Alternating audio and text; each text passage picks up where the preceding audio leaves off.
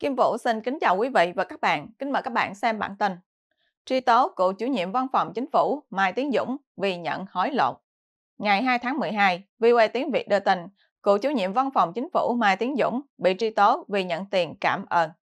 Theo đó, VOA cho biết, theo truyền thông nhà nước, ông Mai Tiến Dũng từng là Bộ trưởng chủ nhiệm văn phòng chính phủ Việt Nam. Vừa bị Viện Kiểm sát Nhân dân tối cao truy tố về tội lợi dụng chức vụ trong vụ án xảy ra tại dự án Đại Ninh và bị cáo buộc nhận hàng trăm triệu đồng từ đại gia Nguyễn Cao Trí, người bị truy tố tội đưa hối lộ. Và đây là hình bài trên VOA. Ông Dũng hồi tháng 5 đã bị khai trừ ra khỏi Đảng Cộng sản Việt Nam cùng với một loạt cán bộ cao cấp. Lúc đó, như Bí thư Thành ủy thành phố Hồ Chí Minh Lê Thanh Hải và Bí thư tỉnh ủy Bắc Giang Dương Văn Thái, ông bị khởi tố và bắt tạm giam ngày 30 tháng 4 trong lúc chiến dịch bài trừ chống tham nhũng của Việt Nam tiếp tục mở rộng. VOA trích dẫn VN Express và Dân trí cho hay, Viện Kiểm sát Nhân dân tối cao ngày 29 tháng 11 ban hành cáo trạng vụ án lợi dụng chức vụ, quyền hạn trong khi thi hành công vụ, đưa và nhận hối lộ xảy ra tại dự án khu đô thị thương mại, du lịch, nghỉ dưỡng sinh thái Đại Ninh ở tỉnh Lâm Đồng.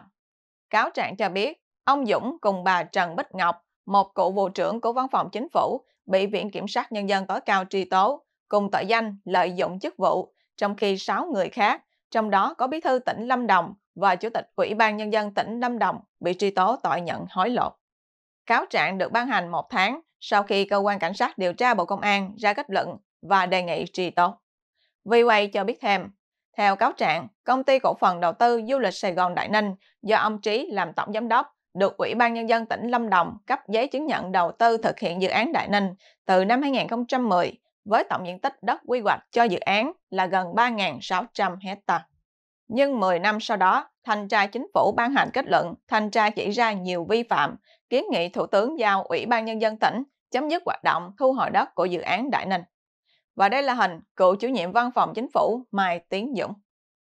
Cáo trạng cũng cho biết, ông Trí sau đó đã thỏa thuận mua lại dự án Đại Ninh và lợi dụng mối quan hệ, dùng tiền, lợi ích vật chất để móc nối, cấu kết với các cá nhân tại văn phòng chính phủ, thanh tra chính phủ, tỉnh ủy và ủy ban nhân dân tỉnh Lâm Đồng để thực hiện hành vi thay đổi, bẻ lái, điều chỉnh trái pháp luật, quyết định của nhà nước. Theo đó, dự án Đại Ninh đã không bị thu hồi mà được giãn tiến độ và tiếp tục thực hiện.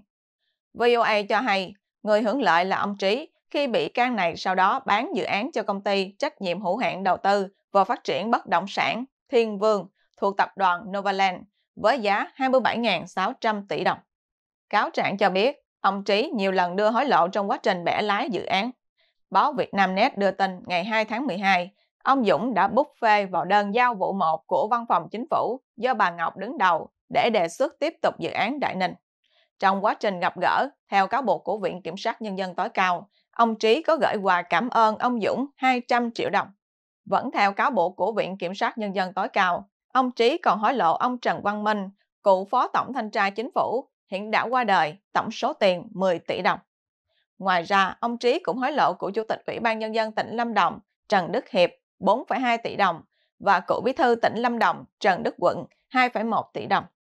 Theo VOA, vào tháng 1 năm nay, ông Dũng bị Bộ Chính trị kỷ luật khiển trách vì đã vi phạm quy định của đảng và pháp luật của nhà nước do bị cho là đã gây hậu quả nghiêm trọng Ông Dũng và chính bị cáo trong vụ dự án Đại Ninh sẽ bị xét xử trong một phiên tòa sắp tới tại Tòa án Nhân dân Hà Nội. Ngày xét xử chưa được công bố.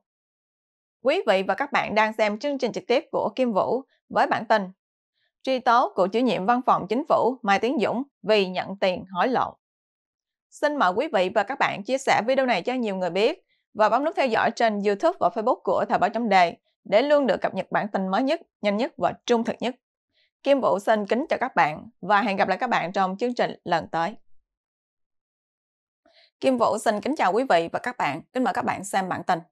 Luật dữ liệu vừa thông qua đã nhận chỉ trích của quốc tế. Ngày 1 tháng 12, AFA tiếng Việt loan tin Quốc hội thông qua luật dữ liệu bị quốc tế chỉ trích là học của Trung Quốc. Theo đó, Quốc hội Việt Nam ngày 30 tháng 11 vừa thông qua một loạt các luật và nghị quyết quan trọng bao gồm luật dữ liệu, luật điện lực, và nghị quyết đồng ý xây dựng đường sắt cao tốc Bắc Nam trị giá 67 tỷ đô la. AFA cho biết luật dữ liệu được thông qua với 451 phiếu trên 458, chiếm 94,15%, luật mới bắt buộc các tổ chức, cá nhân phải cung cấp dữ liệu cho cơ quan nhà nước khi có yêu cầu của cơ quan có thẩm quyền mà không cần chủ thể dữ liệu đồng ý trong 4 trường hợp ứng phó với tình trạng khẩn cấp, nguy cơ đe dọa quốc phòng, an ninh nhưng chưa đến mức ban bố tình trạng khẩn cấp, thảm họa, phòng, chống bạo loạn, khủng bố. Và đây là hình bản tin trên AFA. Theo AFA, quy định của luật này đã bị một số các chuyên gia quốc tế chỉ trích. Trang tin Nikkei dẫn nhận định của một số chuyên gia cho rằng luật này sẽ bóp nghẹt sáng tạo và làm tăng thặng dư thương mại với Mỹ vào thời điểm Tổng thống đắc cử Donald Trump sắp nhậm chức. Nikkei dẫn nhận định từ Hiệp hội Công nghiệp Truyền thông và Máy tính CCIA cho rằng thặng dư thương mại giữa Việt Nam và Mỹ đang lên rất cao và Hà Nội nên bảo vệ mối quan hệ thương mại này. AFA dẫn lời ông Jonathan, phó chủ tịch của CCAI, đăng trên Nikkei cho biết các chính sách cản trở việc chuyển giao dữ liệu, bao gồm các điều trong luật mới, đang gây nguy hại cho các công ty nước ngoài và nền kinh tế trong nước, vốn phát triển được nhờ sự tham gia từ bên ngoài. Theo luật Nikkei, luật dữ liệu mới của Việt Nam chịu ảnh hưởng nặng nề bởi các quy định về dữ liệu gần đây của Trung Quốc, tương tự như luật an ninh mạng trước đó. Trước đó, ngày 4 tháng 11, AFA đã cho hay Facebook và Google cảnh báo dự luật về dữ liệu sẽ cản trở các trung tâm dữ liệu và mạng xã hội. Các công ty công nghệ Hoa Kỳ cảnh báo chính phủ Việt Nam rằng dự luật được Bộ Công an thúc đẩy thắt chặt các quy định về bảo vệ dữ liệu và hạn chế chuyển dữ liệu ra nước ngoài sẽ cản trở các nền tảng truyền thông xã hội và nhà điều hành trung tâm dữ liệu phát triển doanh nghiệp của họ tại Việt Nam. AFA dẫn lời ông Osman, Chủ tịch Hội đồng Công nghiệp Công nghệ Thông tin cho biết, dự thảo luật này sẽ khiến các công ty công nghệ, nền tảng truyền thông xã hội và nhà điều hành trung tâm dữ liệu gặp khó khăn trong việc tiếp cận những khách hàng phụ thuộc vào họ hàng ngày. Và đây là hình một kỳ họp quốc hội. AFA nhận xét các quy định hiện hành của Việt Nam đã hạn chế việc chuyển dữ liệu xuyên biên giới trong một số trường hợp, nhưng chúng hiếm khi được thực thi. Không rõ luật mới nếu được thông qua sẽ tác động như thế nào đến đầu tư nước ngoài vào Việt Nam.